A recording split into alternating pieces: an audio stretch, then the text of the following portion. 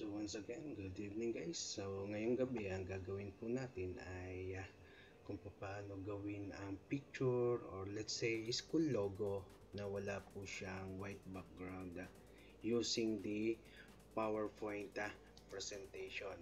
So padadaliin lang po natin. So instead na gumamit tayo ng Adobe Photoshop, uh, ang gagamitin po natin ay uh, PowerPoint presentation.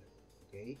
So before we proceed, uh, kindly like uh, our video, subscribe our channel, and click the notification bell. Okay, so ito po yung ating nagiging uh, sabihin nating uh, nagiging dilemma natin.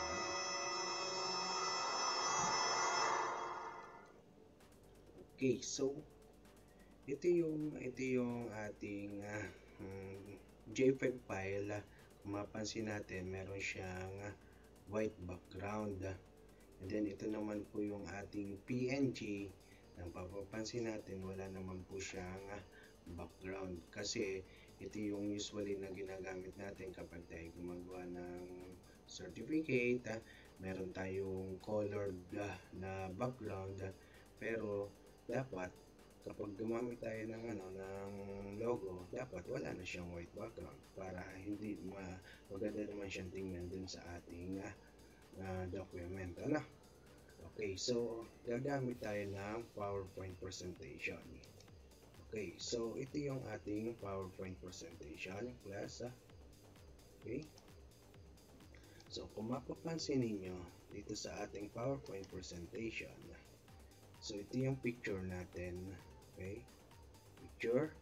And then, yung sa picture format. Okay. Picture format. So meron tayo dyang remove background. Okay? Alright. So, remove background tayo. And then, so yan. I-remove po natin ang background. Yan. So, kapasin nyo, meron tayong color violet dito. Ano? So, itong color, itong ating ano, so mark areas to keep So, meron tayong magkakaroon nyo ng pencil. Ito yung ating ikikip. Ano? Then, uh, atin lang pong hintayin na siya ay ano, magiging uh, colored ulit. Uh. Okay, so kasi siya ay nakasama dun sa remove background. Ano? So, yan. Okay uh, siya ay mark areas to keep po natin. Ibig sabihin, siya ay mananatili dyan. Okay. So, yan. Okay. And then, after that, ah, so ito, ilalagay natin dito. Halimbawa, so ito, halimbawa, ito na po yung ating na, na-keep na po lahat. Ano? And then, from that, ah, so kung mapansin nyo, nasa labas siya ng ating PowerPoint ng slide. Ano? Then, i-ating siyang i-right click. Pindutin lang po yung right click. And then, save as picture. Okay. And then, after that, ah, na-save as picture po natin. Ganun lang po kasimple. So, kung mapansin nyo, PNG na siya. Ano?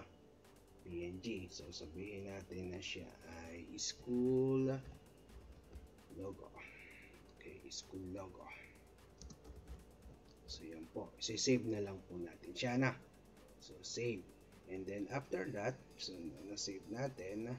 So, ganito na po ang magiging kalalabasan niyan sa ating sa ating um,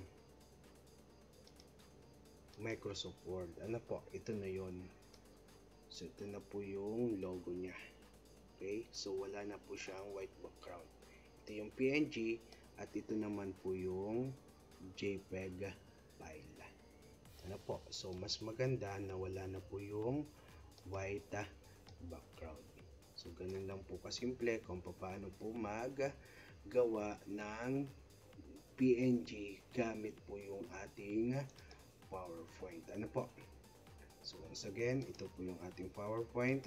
So, ano po yung ginawa, ginamit, ginawa natin? So, once na natanggal na po natin yung background, ah, okay? So, nawala na po yung ah, white background niya.